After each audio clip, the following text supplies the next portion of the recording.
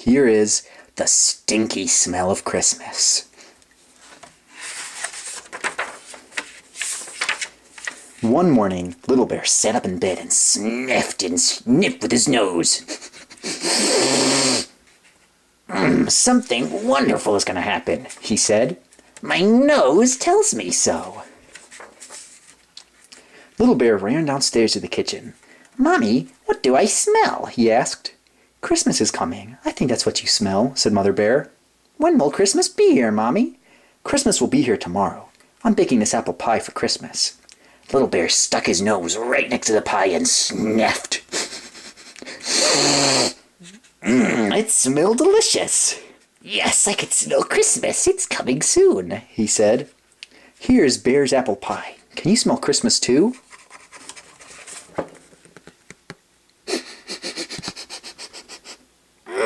I can smell Christmas. After breakfast, Father Bear pulled Little Bear on his sled. Are we going to find Christmas, Daddy? asked Bear. No, we are going to find a nice little pine tree to take home for our Christmas tree, said Father.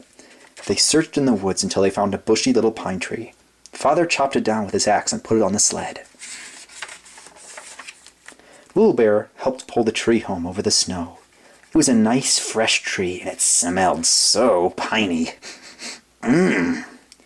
Little Bear poked his big bear nose deep into the branches and sniffed a deep, hearty sniff.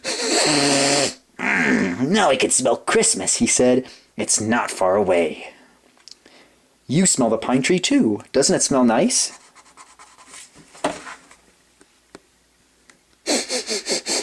Ooh, it smells so nice. I can smell Christmas coming.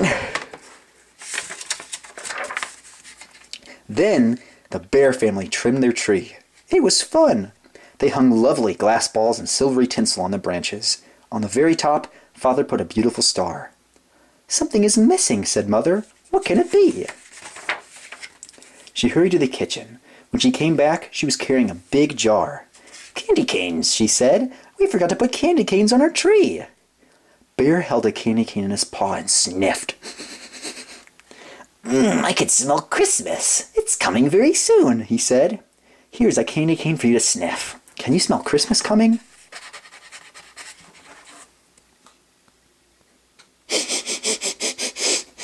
Mmm, I can smell Christmas coming. Then Little Bear hung the candy canes on the branches.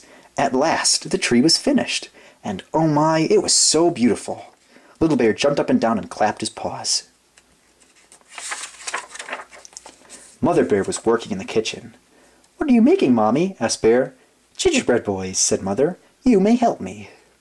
Bear liked doing that. He cut out the gingerbread boys with, a little tin cutter, and then he made their funny faces.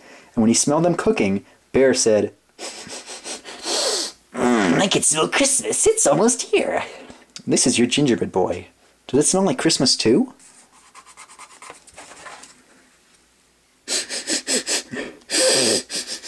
Mmm, it does smell like Christmas. While Bear was hanging a gingerbread boy on the tree, he heard singing at the window. There in the snow were some carolers. How lovely it was to hear Christmas music in the frosty night. Mother Bear invited the carolers indoors for some steaming hot chocolate. Bear had some too. He put his big bear nose down close to his cup. The hot chocolate smelled sweet and chocolatey. Mmm, now I can smell Christmas, Bear said. It's gonna happen right away. And now you smell the hot chocolate.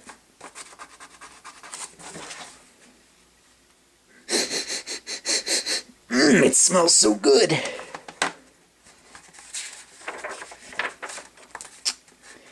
Bear was right. It was almost Christmas. The Bear family hung their stockings by the fireplace.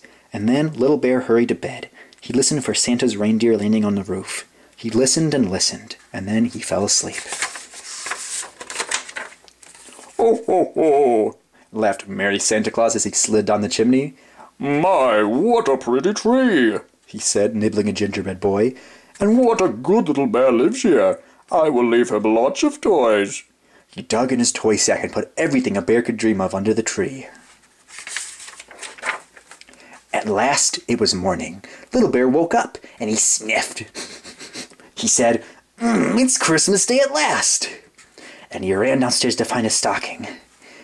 There was a big juicy orange on top, and down inside, Bear found a little red train, a storybook, a tiny ball, and candies and puzzles.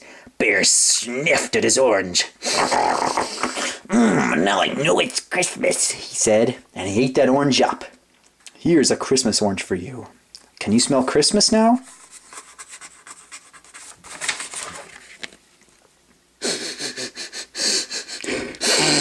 Mmm, I can smell Christmas.